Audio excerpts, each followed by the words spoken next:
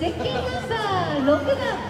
ジーナ・パドサ選手ローズホテルインターナショナル横浜です予選からずっと速かったですよね、ねはい、続いてゼッケンナンバー8番里村雅人選手、はい、18点ディフェンディングチャンピオンでございます、はい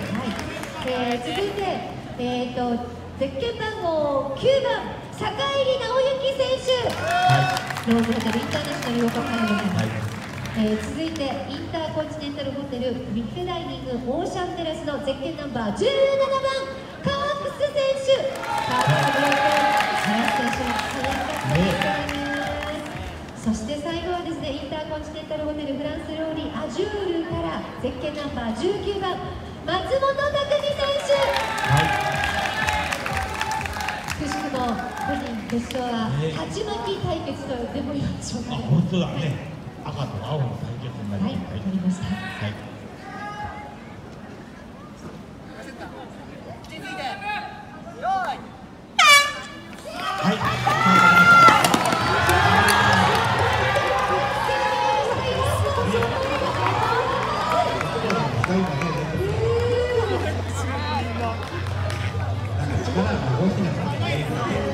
決勝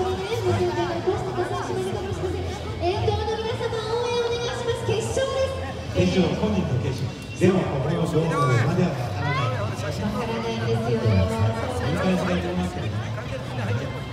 なんか暖房になってますよ。繰り返しも暖房状態でございますね。でも着実にゴールは近づいています。ゴールラインが見えてます